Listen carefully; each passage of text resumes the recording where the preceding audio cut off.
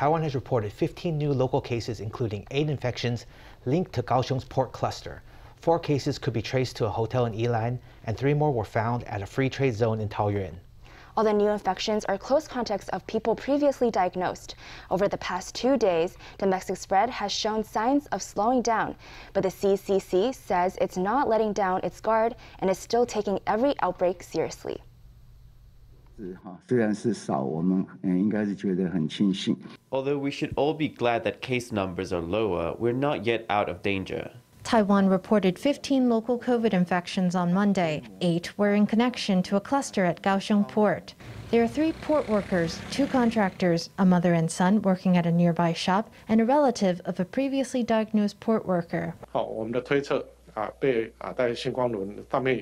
We think there may be more infected people aboard the Hsinkuang. That might be where the first wave of infections originated. The second wave may have affected areas for ship maintenance and shipbuilding. We're expanding screening in the community outside of the so-called red zone. On Sunday, an employee at the Evergreen Resort Hotel in Yilan's Jiaoxi Township tested positive for COVID. Four other employees were confirmed positive on Monday.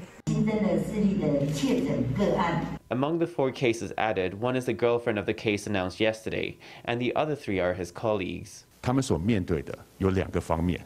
There are two possibilities. One is that they were infected by relatives or friends, people they meet regularly. The second is that the virus was brought by a traveler from elsewhere.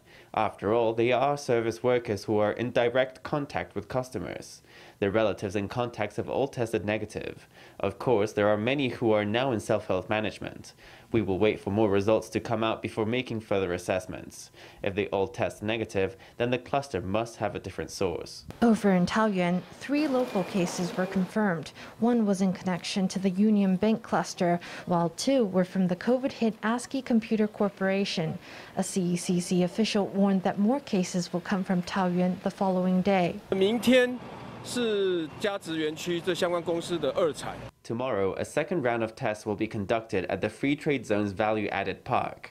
I believe that many people will be diagnosed. Tomorrow, we will require on site testing for all park employees who are not already in quarantine. 哦，一月十号啊，曾经在这个哈自贸园区 People who worked at the Free Trade Zone's worst hit companies, ASCII and Ingraces Technology, prior to January 10th should come forward for testing as soon as possible. 像是报关行、货运承揽业者。 For instance, this includes customs brokers, freight forwarders, and logistics fleets. The Taoyuan city government and the CECC are urging people to come forward for testing so that hidden chains of transmission can be uncovered.